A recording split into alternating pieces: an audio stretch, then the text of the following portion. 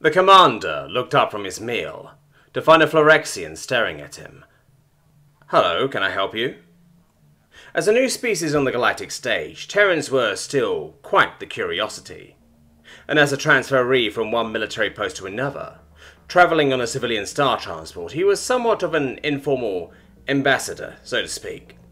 He was starting to get used to giving small lectures on the subject of Earth and its inhabitants. It was acceptable payment for the upgrades in the usual accommodations. Excuse the interruption, Commandeer.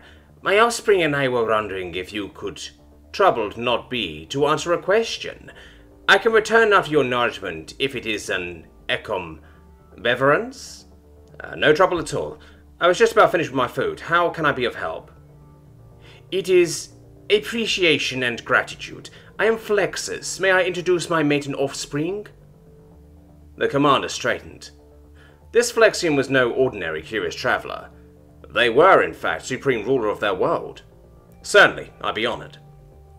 A smaller Flexian approached. They leaned slightly forward to reveal a pouch. Two smaller sets of eyes stared back at the commander. Flexus leaned over and small whispers could be heard coming from the pouch. My second pouchling would like to know about Pete's. Pete's? I'm sorry, but I don't. I am apologies. I refer to your companion animal. It is said you travel with one of these. Weasel? Ah, yes, you mean pets. Well, Charlie, that's the name of my animal, is a bit more than a pet. He is a service animal. That is a companion animal who helps somebody out. We Terrans have over 45,000 years, that's 25,000 Gal years, of history with our pets. We've been together so long that some members of the Council wish to classify us as a symbiotic species. I see, I have heard such talkings. Do you share a mind? Some might say we do, but no, we've just learned to almost instinctively read the reactions of one another. Would you like to meet Charlie? I'm headed back to my cabin, and I'd be honoured to introduce you. He loves children. Philexus leaned over again. Excited whispers and squeals could be heard coming from the pouch. She straightened up and said something to her wife.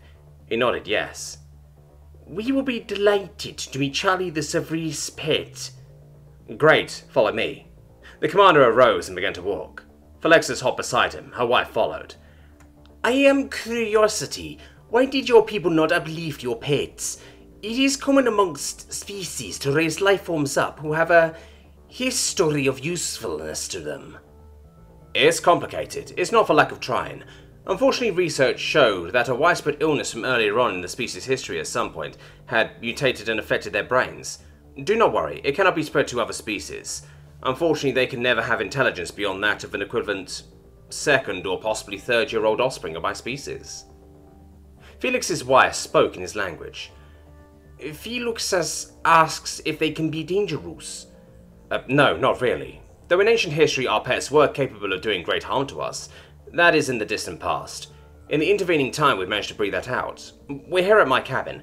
Let me open up and tell Charlie to behave. He can get rambunctious after I've been gone for a while. Felixus and his family stood back while the commander opened the door part way. Charlie, greet. The commander entered. Please, come in. It's fine, let him investigate you. Charlie approached Felixus, sniffing curiously. His bright eyes shined as he gently greeted the strangers. If they were dangerous, why did you not eliminate them?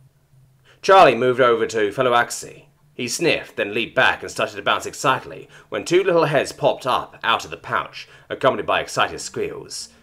We feel a sense of responsibility. With as much history as exists between us, they are part of what made us what we are today. My offspring want to know if they can touch Charlie. Certainly. Uh, Charlie, pets, gentle. Charlie leaned forward. Four little hands reached out and stroked the soft fur on top of his head. More excited squeals were heard. My offspring would like to know if they can have Charlie.